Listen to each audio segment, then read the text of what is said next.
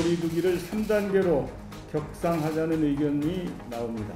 하지만 사회적 거리두기 3단계는 그 경제 사회적 파급 효과를 감안하면 우리가 선택할 수 있는 마지막 카드입니다.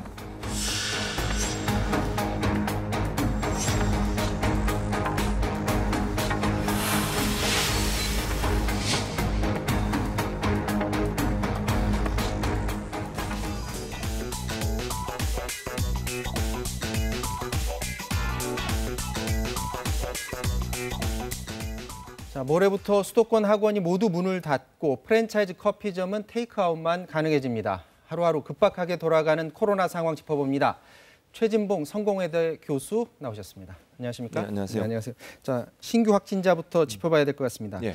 371명, 지역에서 359명 굉장히 많이 나왔는데 지금 400명대에서 300명대로 떨어져서 아, 이제 줄어든 것 아닌가 이렇게 생각할 수도 있는데 사실 숫자 절대 숫자로 보면 굉장히 아직도 많죠. 아, 그럼요. 300명에서 400명대가 지금 왔다 갔다 하고 있는데 어제보다는 줄어든 건 맞습니다. 그런데 이게 이제 태풍 영향 때문에 검사 건수가 좀 줄어들었어요. 그러니까 네. 일반적으로 선별진료에서 진단하고 확진하는 검사 건수가 네. 18,000여 건 정도 어, 어제 이루어졌는데 그 전날 2만여 건 정도 이루어져서 2천 건 정도 줄어들었거든요. 그래서 아마 그런 영향도 있을 수 있다. 그래서 지금 절대로 안심할 때가 아니고요. 음. 좀더 추이를 지켜봐야 되는 상황이다 이렇게 볼 수 있습니다. 지금 집단 감염이 워낙에 여러 가지 종류로 지금 나오 고 있는데 예.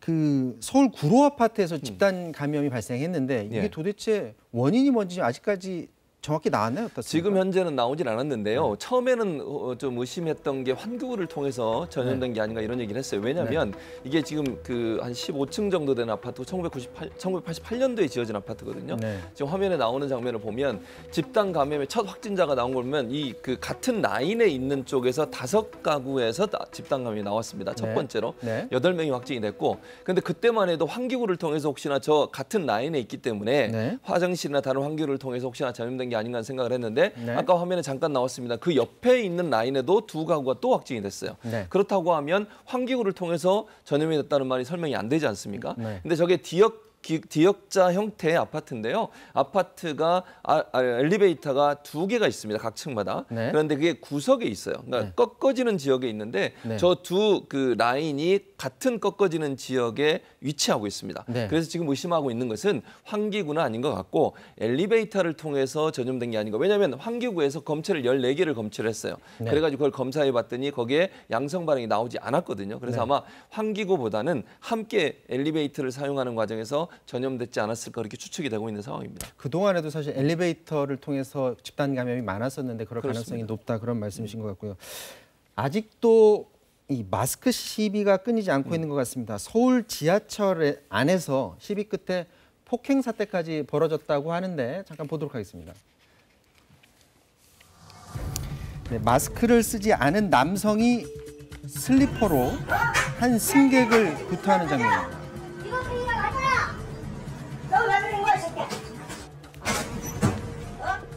네, 옆에 있던 다른 승객에게도 폭행을 가하는데요. 다른 승객들이 말리지만 흥분을 가라앉히지 못합니다. 아, 전동차 문을 발로 차고요. 바닥에 우산을 내던지는 등 난동을 멈추지 않습니다. 네, 우산을 내던집니다.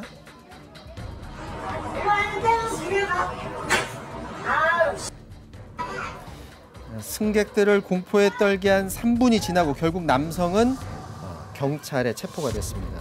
이게 온라인에서 굉장히 화제가 됐나 보던데요. 네. 예전에도 저런 일이 있었는데 저게 말도 안 되는 행동 같아요. 그렇죠. 사실은 이제 저 상황이 당산역 근처에서 있었던 일이에요. 아침에 네. 있었던 일인데 지금 이제 마스크를 쓰지 않고 지하철을 탔, 탔지 않습니까? 그래서 승객들이 마스크를 좀 끼워달라고 요청을 했었고요. 네. 당연히 요청할 수 있는 그렇죠. 거죠. 그랬더니 저 화가 나 저런 행동을 했는데 오늘 아침에 이제 영장 실질 심사, 구속영장 실질 심사를 위해서 출석하면서 기자들이 물어봤어요. 왜 네. 그런 행동을 했느냐라고 네. 했더니 약을 20알 가량 먹었다라고 얘기를 했는데 경찰의 발표에 따르면 24년 동안 조울증 약을 먹었던 사람인 것으로 알려지고 있습니다. 그래서 아마 좀 정신병력이 있는 것으로 보여지고요. 물론 음. 그건 구체적으로 조사가 좀 필요한 부분이라는 생각이 들고, 네, 뭐 영장 실질 심사에 들어오면서는 좀 미안하다는 말을 남기긴 했는데 마스크 쓰는 것을 몰랐다라고 얘기도 했습니다. 그것도 좀 사실은 좀 이해가 안 되잖아요. 지금 전국적으로 모든 대중교통 마스크를 착용하지 않으면 탑승이 불가능하게 돼 있습니다. 그런 상황에서 저런 행동을 했다는 것도 이해가 안 되는 모습이고요. 뭐 이것뿐만 아니라 지난 8월 14일에는 버스 기사를 또 마스크를 턱으로 턱까지 내려서 차고 승차하는 그 고객에게 마스크를 좀 제대로 어, 써달라고 얘기했더니 폭행하는 사건도 있었고요.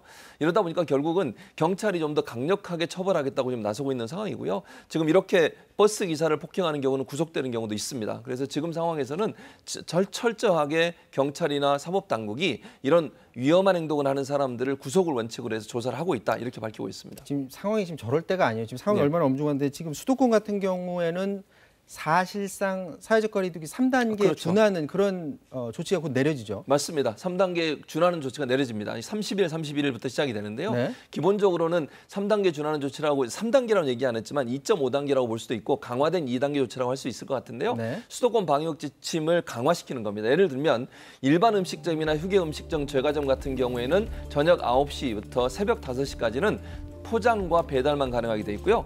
프랜차이즈 카페는 포장 배달만 됩니다. 그러니까 거기 앉아서 커피나 음료를 마실 수 없게 되고요. 네. 학원 같은 경우도 비대면 수업으로 전환하게 되고요. 독서실, 스터디 카페나 실내 체육 시설도 집합 금지 명령이 내려졌고요. 네. 요양병원, 요양시설은 면회가 금지됩니다. 이 조치는 30일부터 0시부터 9월 6일 24시까지 조치가 이루어지게 되고요.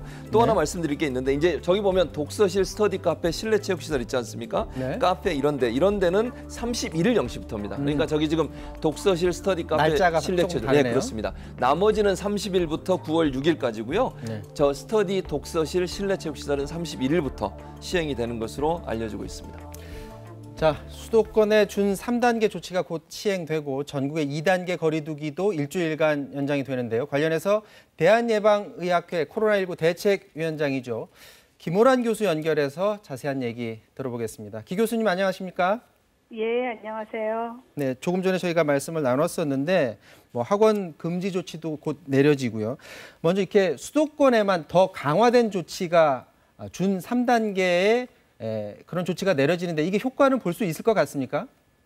예, 효과가 나와야 되는데요. 네. 일단 수도권에만 저희가 이렇게 하게 된 것은 네. 오늘도 벌써 환자의 반은 수도권에서 나왔습니다. 네. 그러니까 수도권이 전체 환자에 이제 미치는 영향이 굉장히 크고요. 네. 일단 수도권이 안정이 돼야지 여기서부터 확산되는 걸 막을 수가 있습니다. 네. 그리고 3단계까지 가게 되면 너무나 경제적 여파도 크고 또 실제로 지금 환자가 나타나고 있는 게 사람들 간의 사회적 거리두기가 잘 안 지켜져서이기도 하지만 이미 위험에 많이 노출돼서 감염이 된 분들이 적극적으로 검사에 참여하고 있지 않아서이기 때문에 네. 더 원인에 맞춰서 이제 대책을 내놓자면 사, 사람들의 사회적 거리두기뿐만 아니라 어, 열심히 검사를 하는 한국이 잘해왔던 K 방역의 원칙인 검사를 절대적으로 많이 하는 것이 중요합니다. 그리고 이제 전국적으로 돼 있는 사회적 거리두기 2단계 일주일 더 연장하기로 했는데 그 배경은 또 어디 있다고 보십니까? 예, 그렇습니다. 2단계도 전국적으로 유지되는데요. 실제로 2단계가 어느 정도 사람들이 잘 지켜지고 있는지 정부에서 여러 가지 지표를 가지고 모니터링을 하고 있습니다. 네. 근데 그 내용을 보면 어, 대구 때 사람들의 움직임 정도에 비해서 지금은 한 사람들의 움직임이 그거의 한 반 정도만 줄어든 상태예요. 네. 그러니까 2단계도 아직은 충분하게 잘 안 지켜지고 있다. 이렇게 보고 있는 거기 때문에 그냥 3단계를 올린다고 해서 어, 큰 효과가 없을 수도 있습니다. 그래서 음. 2단계를 좀 더 강화해서 제대로 사람들의 그 움직임을 줄이는 것이 더 중요하겠다라고 본 거죠. 근데 이제 2단계 조치 전국적으로 한 게 지금 일주일이 됐습니다. 국민들은 아, 효과가 도대체 언제쯤 나타날까 이 부분이 굉장히 궁금한데 언제쯤으로 예상하십니까? 보통 이제 이런 효과가 나오려면 한 네. 일 내지 2주 정도 기다려 봐야 되는 거거든요.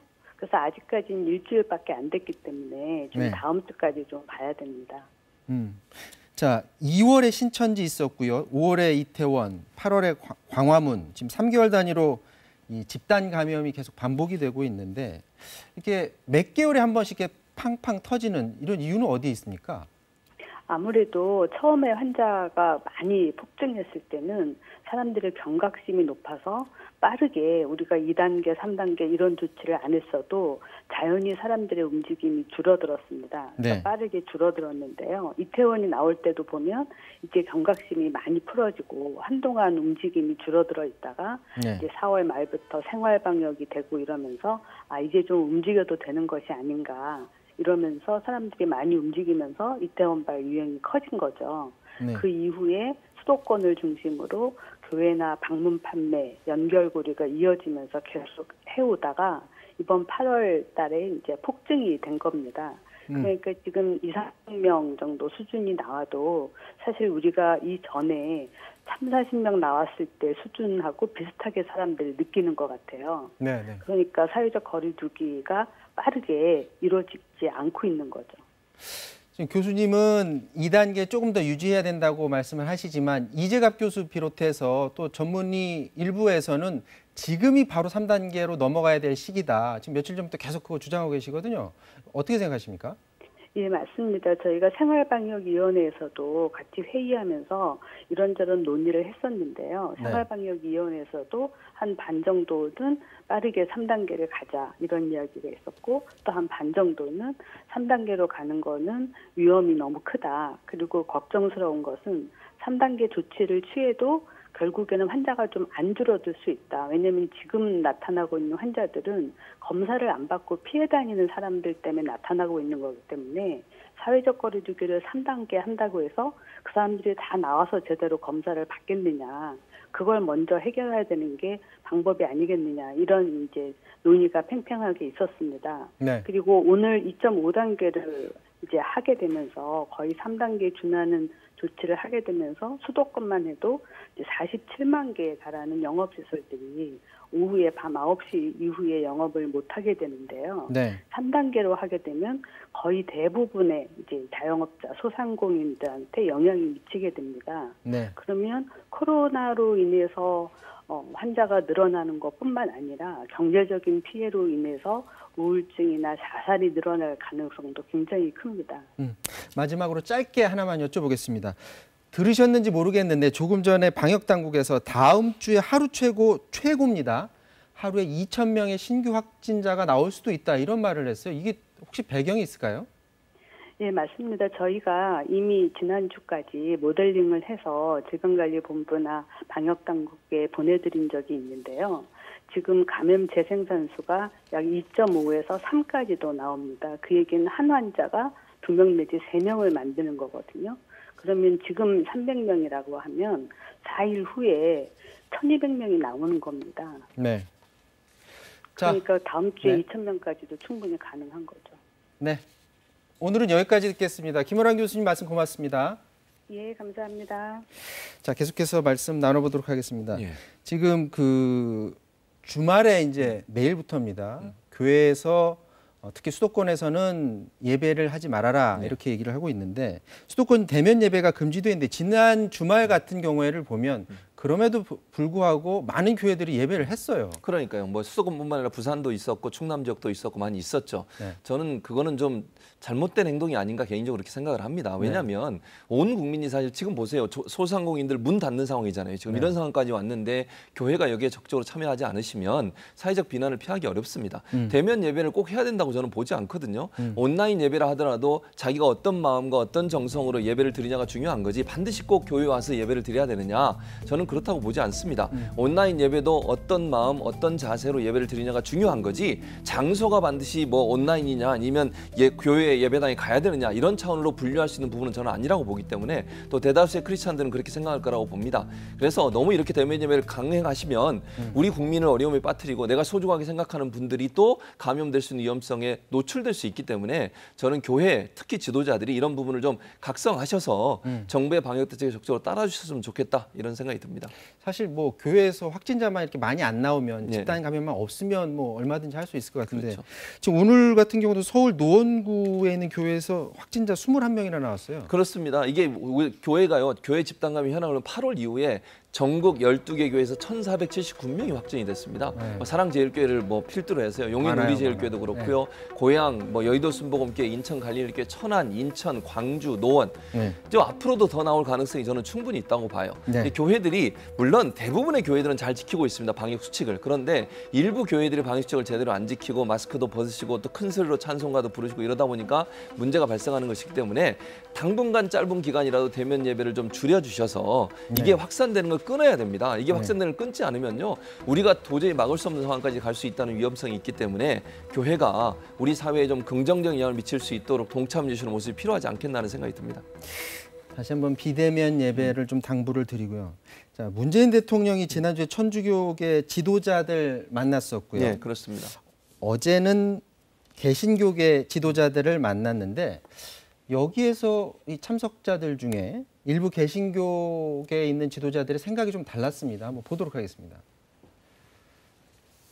이제 한숨 돌리나 했던 국민들의 삶도 어, 무너지고 있습니다. 일이 이제 그쯤 됐으면 적어도 어, 국민들에게 미안해하고 사과라도 해야 할 텐데 오히려 지금까지도 어, 이 적반하장으로 음모수를 주장하면서 큰 소리를 치고 있고 여전히 어, 이 정부의 방역 그 조치에 협력을 거부하고 있습니다. 극히 일부의 몰상식이 한국 교회 전체의 신망을 어, 해치고 있습니다. 이 바이러스는 이 종교나 아, 신앙을 가리지 않습니다.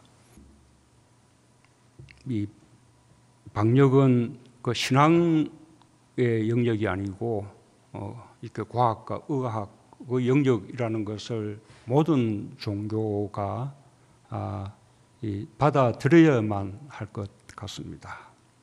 정부는 코로나 종식과 경제를 살리는 데 목표를 두고 있지만 교회는 코로나 종식과 예배를 지키는 데 중점을 두고 있습니다. 교회와 사찰, 성당 같은 종교 단체를 영업장이나 사업장 취급을 하지 않았으면 좋겠습니다.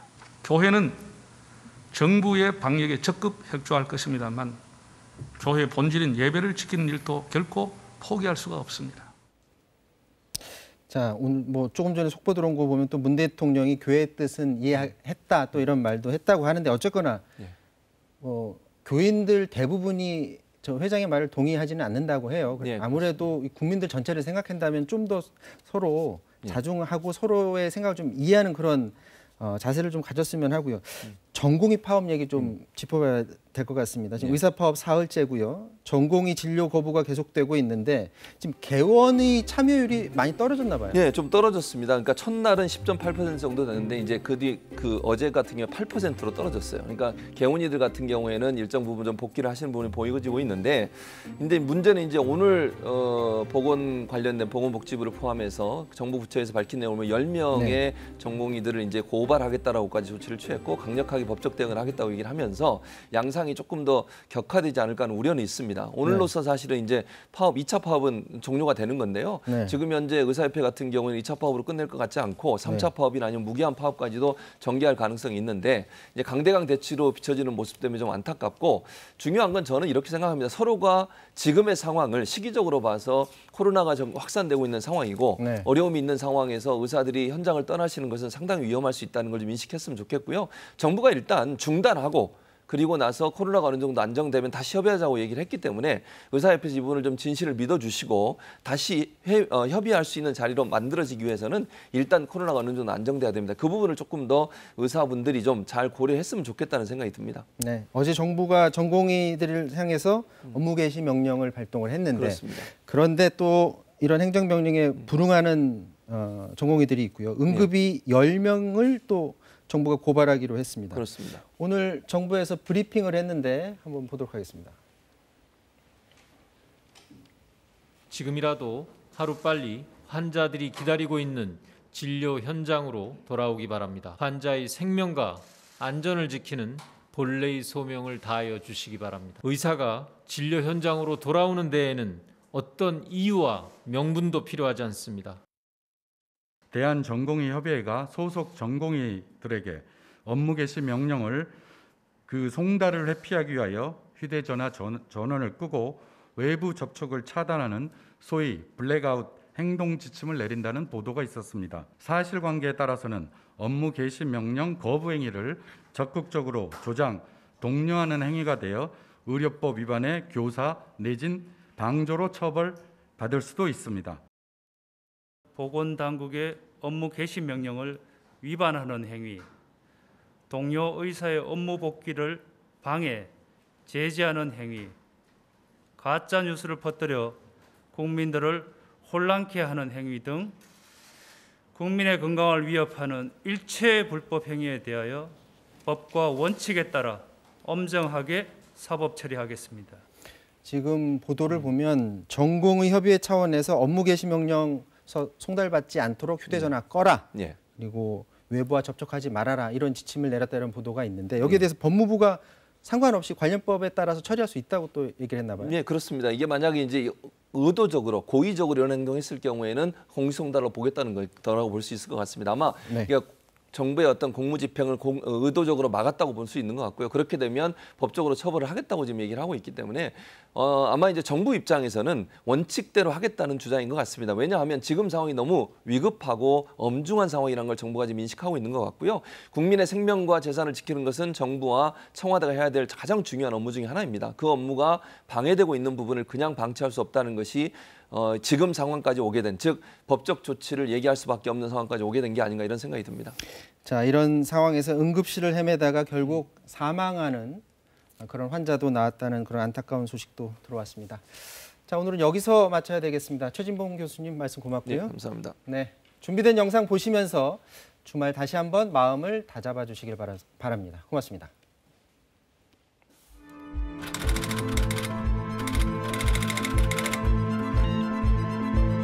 질병관리본부는 1월 20일 오전 8시에 중국 우한시 신종 코로나 바이러스 감염증 해외 유입 확진 환자를 확인하였습니다.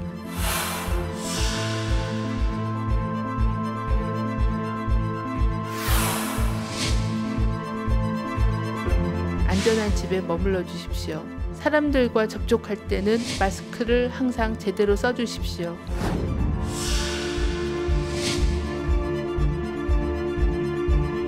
어디서나 어느 공간에서나 누구나 코로나 감염에 노출될 수 있는 위험한 상황입니다.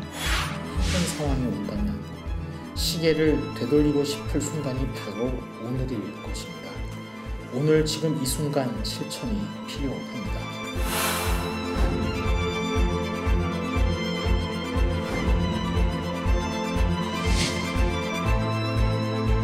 앞으로 2주간은 출퇴근, 병원 방문 등꼭 필요한 활동 이외에는 사람 간의 접촉을 줄여주십시오. 방역당국도 모든 역량을 동원하여 고위험군의 인명피해를 막는 데 최선을 다하겠습니다.